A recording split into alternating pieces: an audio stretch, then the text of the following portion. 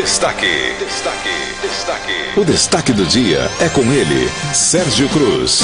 Alô, seu Sérgio Cruz, muito bom dia. Alô, gente amiga, bom dia. Marcos Faria, bom dia. Carmen Sestari, bom dia. Madureira, bom dia. Só alegria na Madureira. O Goiás vai bem, viu, Madureira? Mas o, o, o Atlético, o Atlético, como é que é o, o, o outro lá? Hã? Atlético Goianiense também vai bem. Agora está perdendo só de 1 a 0, né? De vez em quando empata 2 a 1, mas não, não está mais perdendo de 5 a 0, assim, como acontecia no início do campeonato. Quer dizer, melhorou bem. É, melhorou bem. A representação de Mato Grosso, de, do, do Centro-Oeste no Campeonato Brasileiro é que vai muito mal com este seu clube lá do seu, seu estado. Ainda bem que você torce para o Goiás. Agora aqui no Mato Grosso do Sul, o, o comercial vai bem. Pode inclusive se classificar para disputar a série, para entrar na série C do Brasileirão. Da série D, né? Pode entrar na série C. E pela primeira vez na história da, das séries, né, das séries menos sérias, o, um time de Mato Grosso do Sul pode alcançar a série C do campeonato. A expectativa é de que vá para B e depois vá para o A. Né? O, como já tivemos no passado, o comercial, o operário, na Série A do Campeonato Brasileiro. Não sei se naquele tempo era A, B, C, como é que é. Mas era no top, né? Era lá em cima. O operário, então, era de 10 a 0. O... Quero cumprimentar minha amiga Zumira Alcama, que está aniversariando hoje, mãe do. recebendo aqui o abraço do Robson Martins, seu filho, seu filho e todos os seus filhos, netos.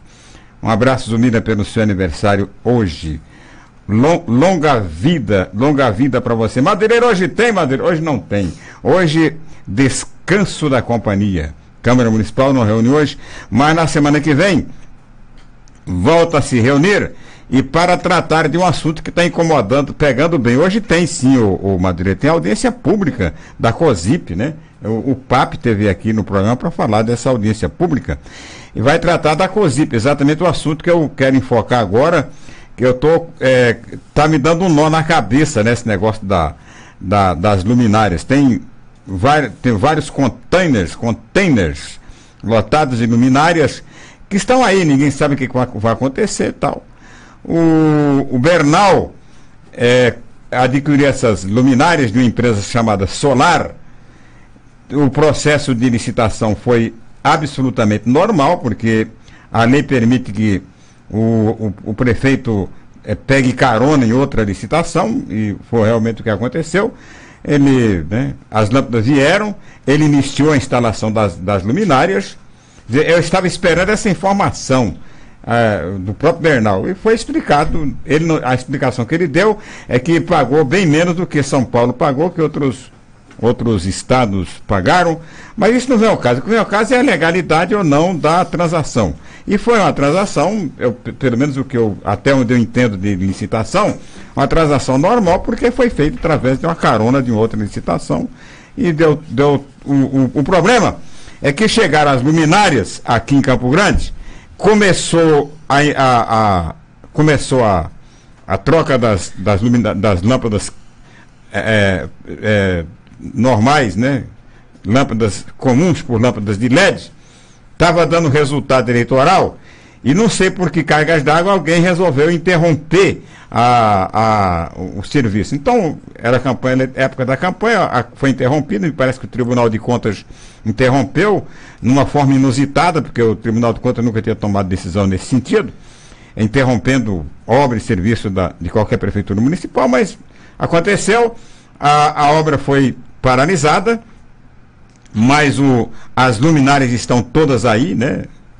Aí cabe uma defesa ao, ao prefeito, pessoal, ao prefeito Alcides Bernal, porque tá aí, as luminárias estão aí, todas, confere de acordo com aquilo que foi comprado, se a empresa quebrou, que vendeu quebrou, foi embora, é outra história, ela não podia também ficar aqui o tempo todo esperando uma decisão da justiça ou de quem quer que fosse para continuar. Ela, tinha um, um, um, contrato, o contrato foi é, compulsoriamente suspenso, né?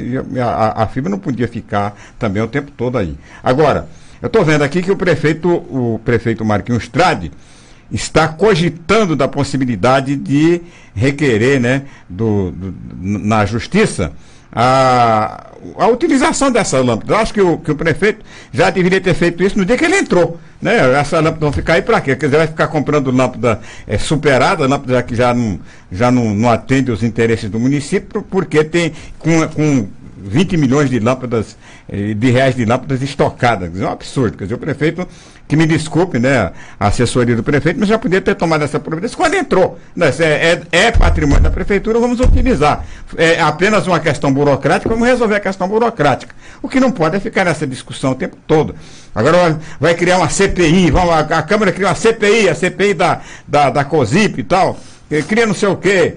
É, eu acho que tem que ser prática, até porque a administração pública tem tempo de validade. Né?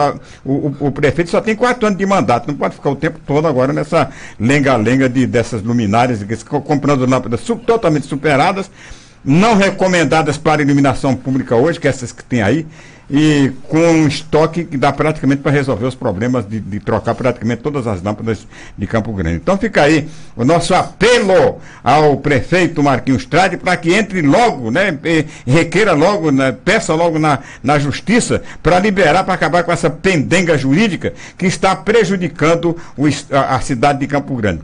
Essa suspensão da COSIP já foi um enorme prejuízo, né, porque agora o consumidor, o, o, usuário que não tem nada a ver com a história, com a briga da Câmara Municipal da, da legislatura passada com o Bernal, nós não temos nada a ver com isso. Né? Foi a coisa que a Câmara que inventou esse troço aí, ela tem que resolver. Agora, nós vamos ter que, além de, além de ficar com a cidade praticamente às escuras, como a gente está vendo aí, é, as escuras porque essa, esse sistema de iluminação que tem é totalmente superado. E porque está faltando lâmpada mesmo em, muito, em muitos lugares. Então, fica aí a nossa, nosso apelo à Câmara e ao prefeito municipal para uma ação mais rápida, né, para resolver isso. De repente essas lâmpadas também começam a ficar estocadas por muito tempo, aí sei lá. Remédio, se você estoca, alimento, se você estoca por algum tempo, perde. Não sei se lâmpada também perde. Espero que não. É... Lá no Supremo Tribunal Federal aconteceu uma derrota anunciada, né? Eu já tinha falado aqui, quando o, o governador Reinaldo Zambuja até dei razão para ele entrar na justiça, que é um direito que ele tem, acho que todos nós temos que exercer o nosso direito, mas eu já falei aqui que não ia dar nada, né? Que ele ia perder de 11 a 0. E me parece que é o que está acontecendo. Vai perder de 11 a 0. Já está de 7 a 0 e faltam quatro votos ainda para votar na quarta-feira. É, eu reconheço que ele tem razão, né? Do, do ponto de vista de que. A, aliás, a defesa dele foi muito bem feita pelo doutor Passarelli. Agora, é interessante, você ouve esse negócio de. de, de lá no, eu ouço, fico ouvindo lá a a TV Justiça, quando ouço os debates na Câmara e no Senado, mesma coisa, eu, eu ouço o, a defesa e fico é, bestificado, mas com que cara mais inteligente. Onde ele foi arrumar isso aí? É isso mesmo aí, ó. É isso mesmo que ele está falando, está tudo certinho que ele está falando. Aí vou ouvir o, o, ministro, aí começa a ouvir o ministro, ouço o ministro meia hora, mas, mas esse ministro está certo, o ministro está certo, o cara tá, dizer, dá um nó na cabeça da gente. Agora eu falei aqui com a questão que, que, que, que o o, o, o, governador ia perder, porque, é claro, o, o, tribunal, não estou aqui levantando nenhuma suspeita do tribunal, mas o tribunal não vai votar contra né, uma. contra um.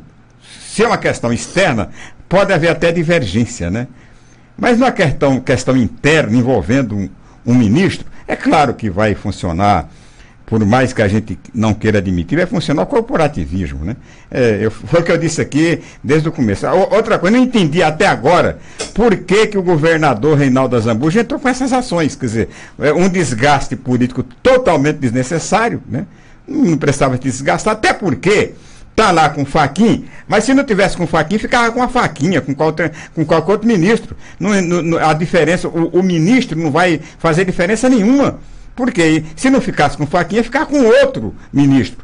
Outra coisa, o Faquinha já, havia, já havia distribuído essas, essas ações para as, as, as, instâncias competentes. E a do governador Reinaldo Azambu já está no Superior Tribunal de Justiça. Quem vai é, tomar conta do caso do governador daqui para frente não é mais o Supremo. O Supremo é apenas uma instância de recurso, recurso uma instância recursal. Quem vai julgar, quem vai processar, aliás, quem vai processar, quem vai autorizar investigações a partir de agora, não é o, o, Supremo, e sim o Superior Tribunal de Justiça. Então, eu achei totalmente desnecessário nessa, esse recurso do governador Reinaldo Zambuja, e havia previsto aqui mesmo neste programa, quem me ouve todo dia é, pode testemunhar por mim, de que ia dar no que deu, né? Deu, deu tá 7 a 0 e vai dar, um, vai dar 11 a 0. Agora, o e não muda também, né? Porque qualquer a, a, a, investigação da Polícia Federal, do Ministério Público Federal, da Assembleia Legislativa, do Ministério Público Estadual, isso vai haver mesmo.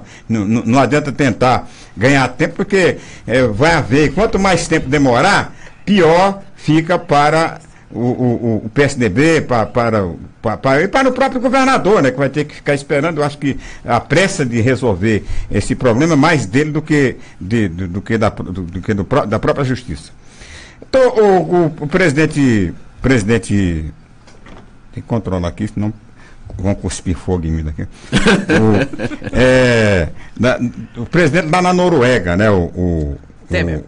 O, o Temer na Noruega. Agora, o pessoal fala, mas o mais importante dessa visita do Temer à Noruega foi a suspensão pela Noruega de 200 milhões de reais aliás, da metade dos 400 milhões de reais que a Noruega manda para o Brasil todo ano para a preservação da Amazônia. Né? Quer dizer, quem se preocupa com a preservação da Amazônia não, não somos nós aqui. Quem se preocupa é a Noruega, os países que não têm mais floresta, já destruíram toda a floresta, agora ficam preocupados com a nossa floresta. O que é absolutamente normal. Né? Eles têm a experiência da destruição e nós aqui queremos ter o mesmo direito que eles tiveram. Destruíram lá e nós queremos aqui ter o mesmo direito. Ah, se eles destruíram lá, por que, que nós não podemos destruir aqui? Né? Se eles tiveram o direito de acabar com a floresta deles, por que, que nós não temos o direito de acabar com a, com a nossa floresta? Quer dizer, a preocupação deles não é apenas uma, uma preocupação de discurso, não foi apenas o discurso, né? A preocupação deles é uma preocupação pragmática, dá um dinheiro, tá aqui, ó. É para preservar, porque se não interessa para vocês aí no Brasil ter floresta, interessa que tenha floresta no Brasil para o resto do mundo. É, essa, esse que é o conceito internacional. Agora aqui não. Aqui a gente vota código florestal para. É, permitindo, né? O Código Florestal, inclusive, permitiu que se, é, que se destruísse a Amazônia, o Pantanal. Quer dizer, não tem um. Aqui o Brasil tem que ter um código florestal para cada bioma. O Código Florestal da Amazônia, Código Florestal do Pantanal, Código Florestal do Cerrado, das Caatingas, tá? tem que ter. Por quê? Porque cada sistema, é, um é, é diferente do outro. O, o, peixe que tem lá no Rio Amazonas é diferente do peixe que tem aqui no Rio Paraná. Então tinha que ter leis e, e, e legislação geral para cada sistema, porque o nosso, a, nossa, a, a, grande diferença que o Brasil tem dos outros países é exatamente isso. É a sua natureza, exuberante natureza, que a gente infelizmente não, não entende e vai destruindo em nome da lucratividade. Falei e está falado.